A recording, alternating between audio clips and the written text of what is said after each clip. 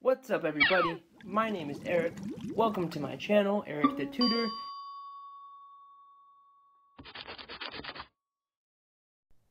What's up everybody? My name is Eric. Welcome to my channel, Eric the Tutor. Today we're going to be talking about a lot of important reactions with alcohols, okay? So we're going to start with the synthesis of alcohols and we're just going to jump right in, all right? We're going to have quite a few examples today.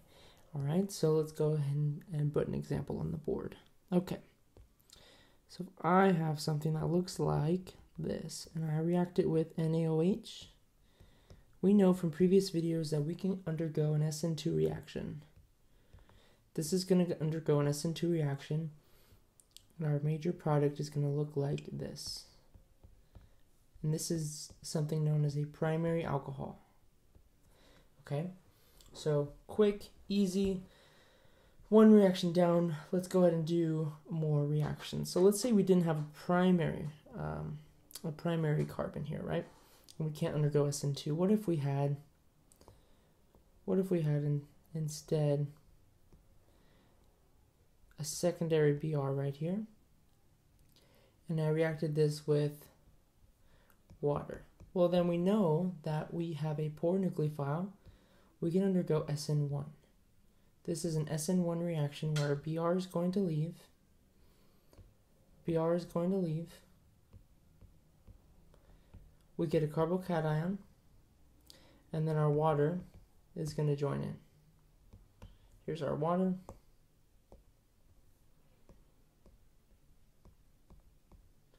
Here's our OH2 group, and then our Br minus can come grab my hydrogen and kick on a lone pair onto that oxygen. Okay? Giving us a something known as a secondary alcohol. Okay? Draw another example on the board here, okay? I'm going to scroll up. Okay, so if we had something that looked like this, we have a primary. And I react this with the following.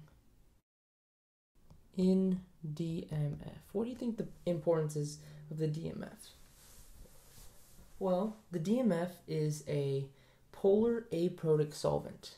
This is polar aprotic. That's going to help this nucleophile right here. It's going to help this nucleophile. It's going to help it do SN2. Okay, because we have a primary, we're just trying to have the best conditions possible to give us SN2. All right, so let's see what we get. So this oxygen is going to come bond with this carbon and kick this Br group out.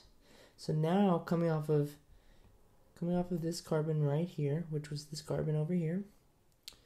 So we're looking at this carbon. We're now going to have an oxygen with a carbonyl group and the rest of the R group. This group is something known as an ester. Okay, so this isn't the this isn't the alcohol that we want, but it gave us an ester. So what I can do is I can take this ester and I can undergo hydrolysis. So let's say I react this with H2O. This is hydrolysis. Well, if I do that, then I won't go through all the steps, but this ester group is going to turn into an OH. So, and we would do this hydrolysis in H plus conditions. That's going to give us another alcohol. Okay, so that's just another way of making an alcohol. Let's go ahead and continue our discussion of synthesizing alcohols, but I want to use something different. I want to introduce oxidation and reduction reactions, okay? So let's go ahead and look at some oxidation and reduction. All right, so if I want to oxidize something or if I want to reduce something, let's say we started out with, let's say we started out with a ketone group. Here's our ketone group, okay? And I want to synthesize a secondary alcohol. How am I going to do that? Well, we can use a cool reagent such as NaBH4, or we could use a reagent called, so I'll say, or we could use LiAlH4.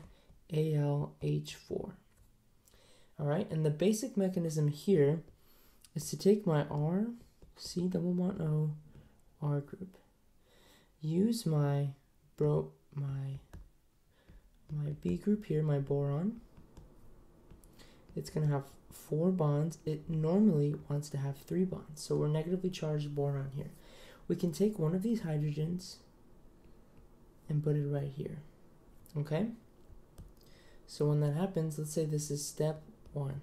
When that happens, we get R, O minus, R, and a new hydrogen in here. If I do step 2, H3O plus, I can take one of these oxygens, grab a hydrogen from my H3O plus, and that's going to give us R, O, H. Just like that. And that gave us our secondary alcohol. Okay, we also get some water. Okay, so we could have used NaBH4 or we could have done LiAlH4. All right. Typically, when we do this, we're gonna want to be in a we're gonna want to be in a aprotic solvent. So we usually put this in diethyl ether. All right. So let's go ahead and do a practice problem now. So I'm gonna go ahead and push this guy up here. Okay, and let's do a practice problem. Let's say we had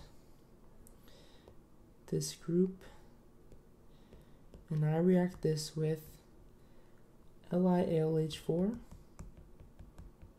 in diethyl ether, and I do acid workup after. What's my final product going to be? Pause the video and give it a try. Alright, well, I know that one of the hydrogens from my ALH4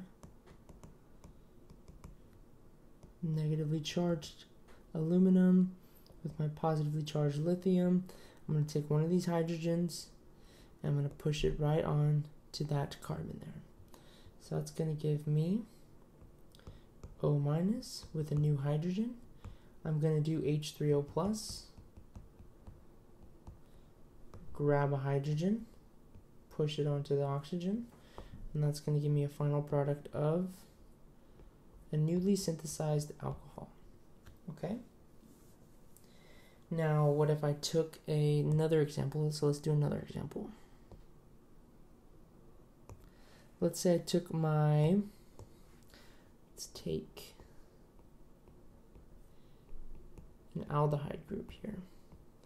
And I want to react this with NaBH4 in ethoxide. What do you think is going to happen here? Well, we know one of the hydrogens, so here's my B, H4. We know one of the hydrogens is going to come in here, push this guy up here. Remember, this is an aldehyde. Well, then our product is going to look something like, we're going to have an O minus, two new hydrogens here, and this negatively charged group is going to grab a hydrogen floating around in solution from my my alcohol group here, okay? My ethanol. All right, so when that happens, that's going to give us a final product of here is our primary alcohol. All right, and this was our final product. Again, we synthesize an alcohol. I'll go ahead and make more videos on reactions with alcohols in the following videos. Thanks, guys. See you next time.